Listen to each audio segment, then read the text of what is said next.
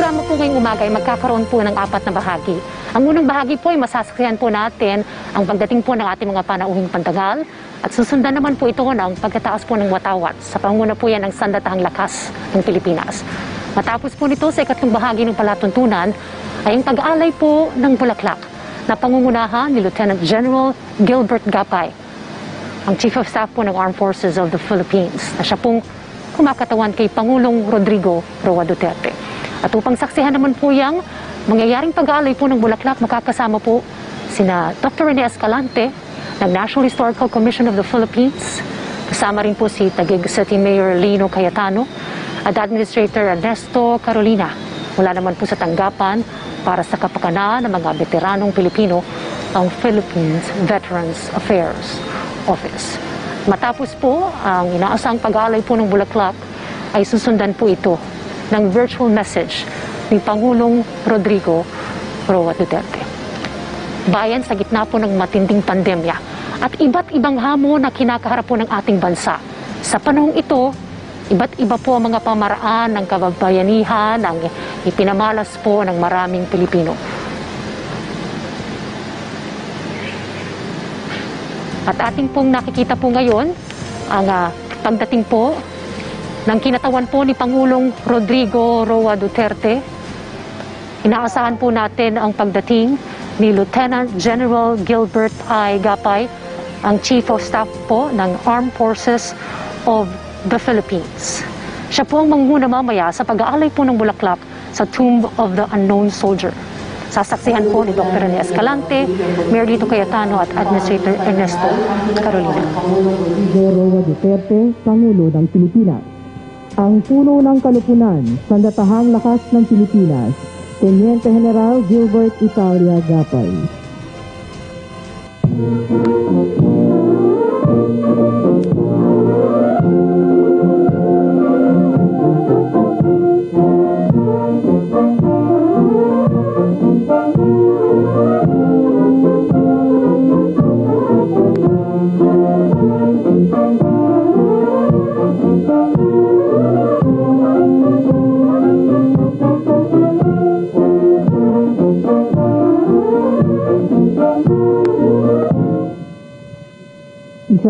pong marangal na pagdating ng panauhing pandangal. Pagkunan. Handa. Dala. Alis. Tanghal!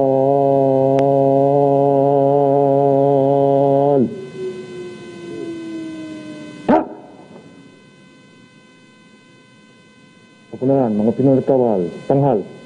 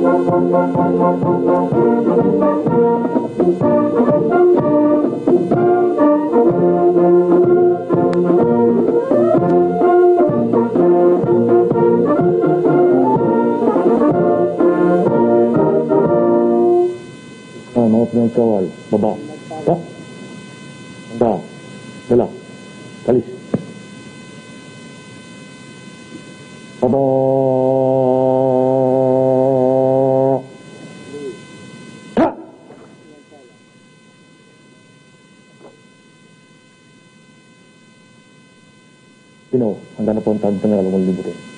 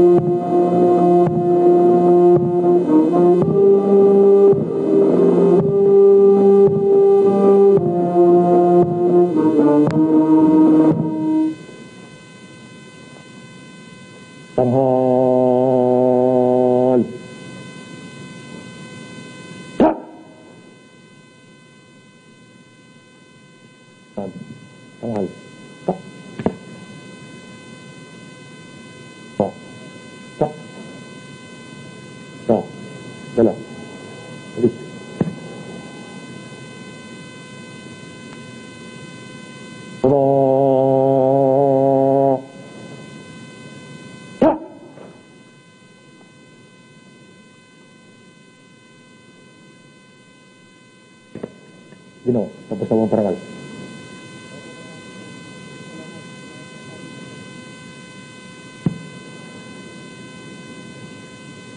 Nakasama. Kapabot ng ating panahon banangal. General Gilbert Italia Gabay. Philippine Army. Dito sa Armed Forces of the Philippines. Ang kanyang taus-pusong pasasalamat sa parangal na ating ginawa sa kanya. Sa umagang ito. Kanan, baba. Kalis.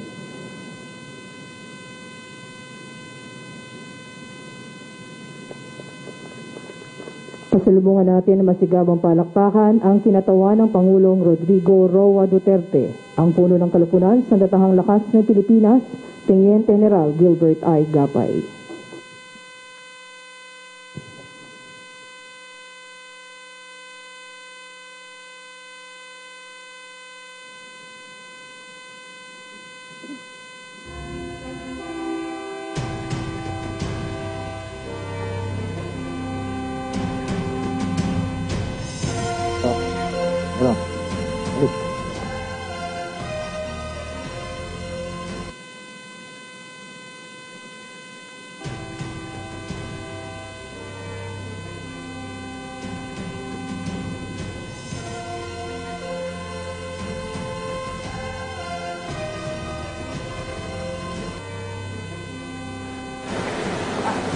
Day, mag-annotate daw po.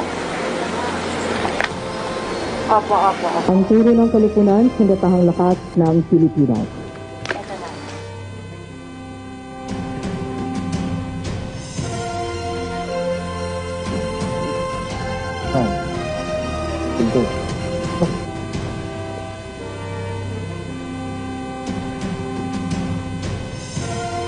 Sadako po tayo sa seremonya sa pagtataas ng watawat. Tanghal!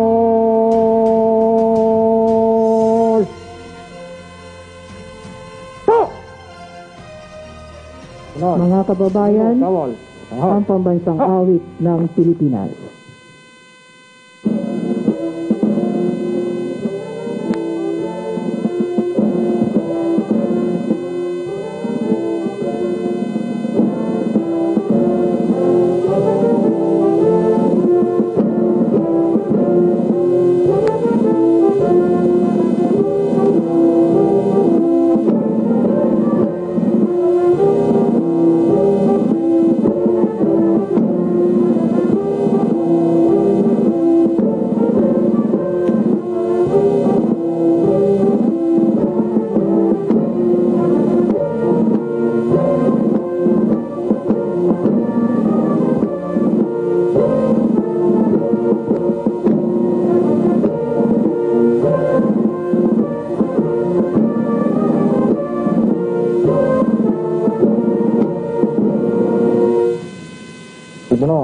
Tigmanon, mga pinunot, kawal.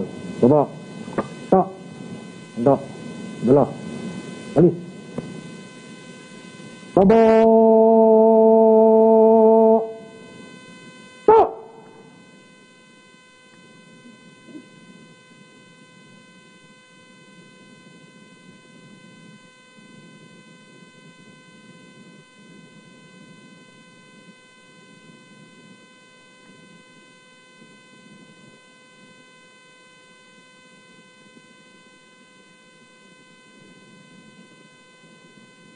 Belum.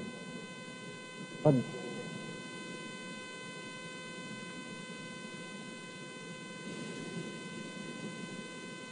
Kanan. Oh. Isasagawa po ang pag-aalay ng bulaklak sa tomb of the unknown soldier. No, dana po ang pag-alay ng bulaklak.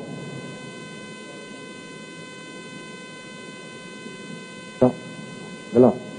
Alis. Sit. Tukunan. Pad.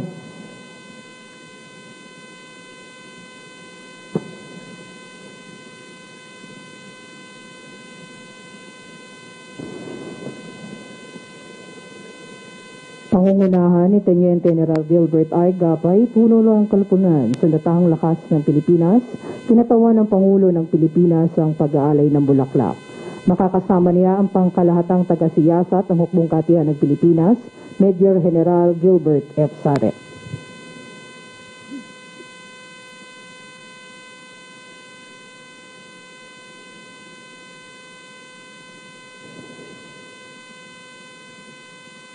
Sasaksihan ng seremonya ni na Tagapangulo Dr. Rene R. Escalante ng Pambansang Komisyong Pangkasaysayan ng Pilipinas at Administrador Ernesto G. Carolina ng tanggapan para sa kapakanan ng mga veteranong Pilipino.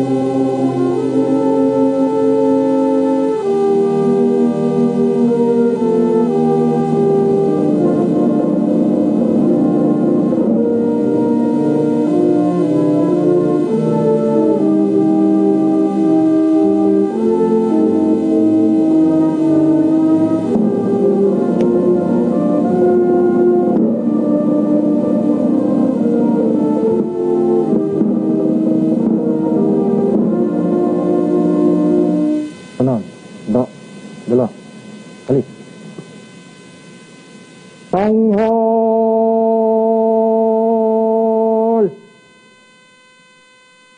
Ta! Tukunan. Mga pinunod, kawal. Tanghal. Ta!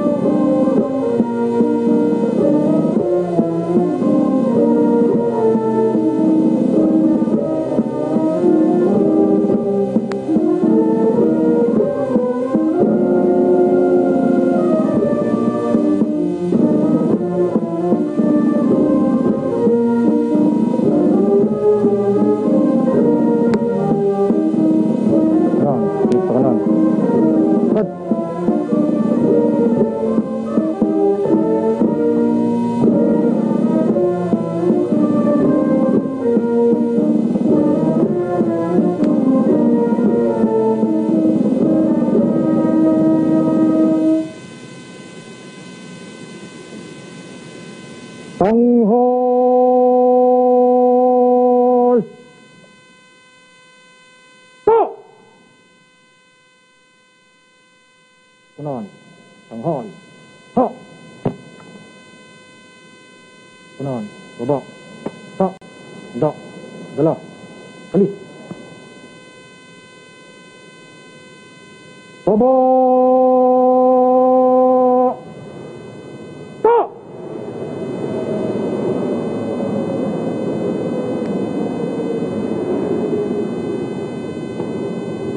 No, tapos na po ang pag-aalay ng bulaklak.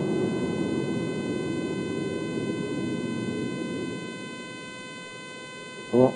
Ali.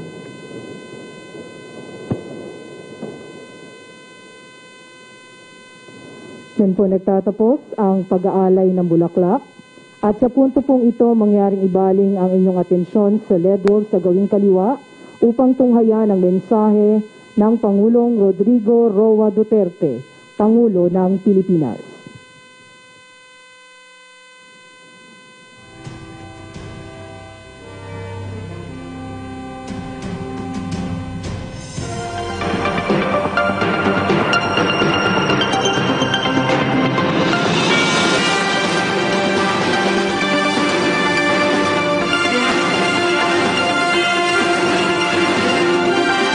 I join the entire nation as we celebrate this year's National Heroes Day.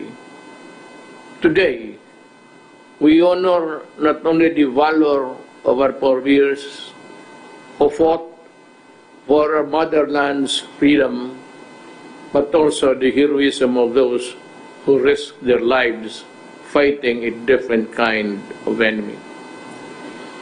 Present-day challenges posed by the current public health crisis has given rise to modern-day heroes. The countless Filipino frontliners here and abroad who are battling the COVID-19 pandemic.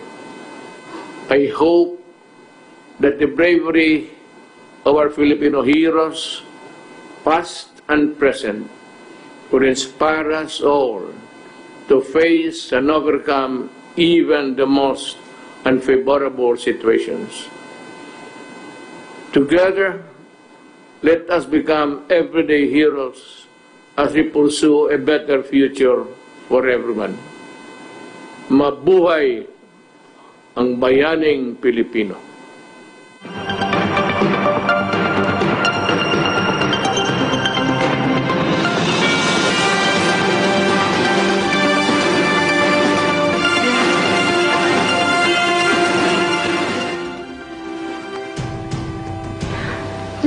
Nasaksihan po natin, bayan, ang simple, ngunit makabuluhang seremonya para po sa pagdiriwang ng National Heroes Day 2020 na magtemang tunay na kabayanihan sa paglaban at pagbangon. Nasaksihan po natin ang pagkataas ng watawat, ang pag-aalay ng bulaklak sa Tomb of the Unknown Soldier na pinangunahan po ni Lieutenant General Gilbert Gapay ang Chief of Staff ng Armed Forces of the Philippines na sinaksihan po ni Chairman Rene Escalante ng Pambansang Komisyong Pangkasaysayan ng Pilipinas o National Historical Commission of the Philippines at ni Administrator Ernesto Carolina ng tanggapan para sa kapakanan ng mga veteranong Pilipino. Ito po ay nagtapos sa isang virtual message ni Pangulong Rodrigo Roa Duterte. Sa mensahe po ni Pangulong Duterte sa pagdiriwang po ng National Heroes Day 2020, nakikiisa raw po si Pangulong Duterte sa ating pong pagdiriwang ngayong taon ng pambansang araw ng mga bayani. At sinabi rin po ng Pangulo na ito pong COVID-19 pandemic ay nakita po natin ito pong mga modern day heroes ang kanila pong kabayanihan. Nang ibabaw po ang kanilang heroism sa gitna po nitong COVID-19 crisis. Ito po mga frontliners natin. Dito man po sila sa bansa o nasa ibayong dagat. Bayan, in our current situation, marami pong paraan para mapakita po natin ang kabayanihan para po sa ating bansa. Lalo na po tayo may kinakaharap na COVID-19 crisis, kinakailangan po ang ating partisipasyon sa mga programa ng ating pamahalaan. Pagsunod sa mga panuntunan na inilalatag po ng otoridad.